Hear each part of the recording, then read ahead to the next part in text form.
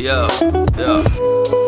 This is a thank you for everything. A semicolon hovering where something once was menacing. A soon to be continued that exists after the ending screen. The only song I know that I would ever even wish to sing. When heat is blistering, you're the ice that's glistening inside my cup of tea, which is also you. Interesting. Throughout all the seasons in this transition of winter spring, you've been here beside me with the sweet nothings you're whispering.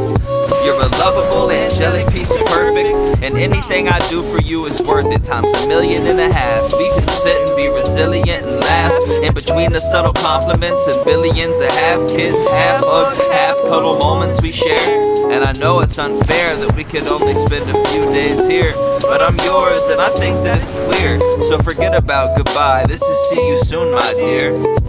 Cause I love you and I'd like to spend forever in the subtle warmth inside your arms like fireplaces embers. I will try my best to keep you by my side until the weather turns apocalyptic and we end up drifting to the nether. But we'd still be wearing sweaters when we got there. Cause we're both way too caught up all in our cuteness to care about hot air. And even if it burnt me alive, I'd have my crosshairs set up on your heart. Make it art, cause why stop there? I keep on creating for you till my final days. Dancing in the living room and smooching while the vinyl I've been losing track of the to say, but basically I love you and that's kinda gay. I'ma stay by your side when I can.